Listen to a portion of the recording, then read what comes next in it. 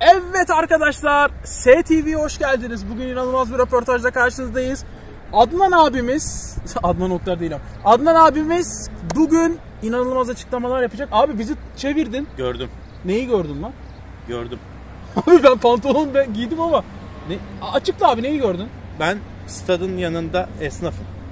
Fenerbahçe'nin teknik direktörü yeni Alman geldi.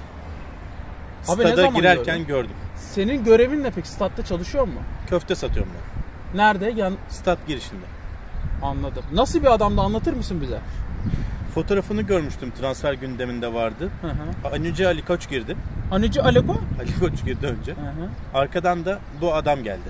Hatta yanında bir iki tane şey dosya böyle evrak falan var. Peki eee Yani yabancı konuşuyordu adam. Alacaklı, Almanca alacaklı olmasın? Yok Almanca teknik direktör o benim dedi. Duydum.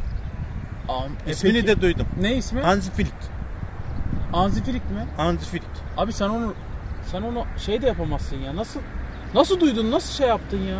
Ama Hansi Flick dedi. Zaten gündemde görmüştüm ismi Hansi Flick. Allah. Muhtemelen o herhalde. Şimdiden hayırlı olsun. Teknik direktör Hansi Flick. Hatta şey de geldi. Sportif direktör de geldi. Abi boyu kaç bu adamın? 1.40-1.45. Hafif gözlüklü, temiz sakallı.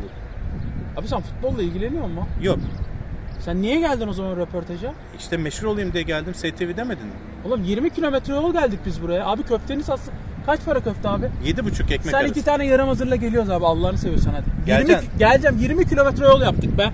20 kilometre yol yaptık biz buraya. 20 Neyse esnafa bağırılmaz.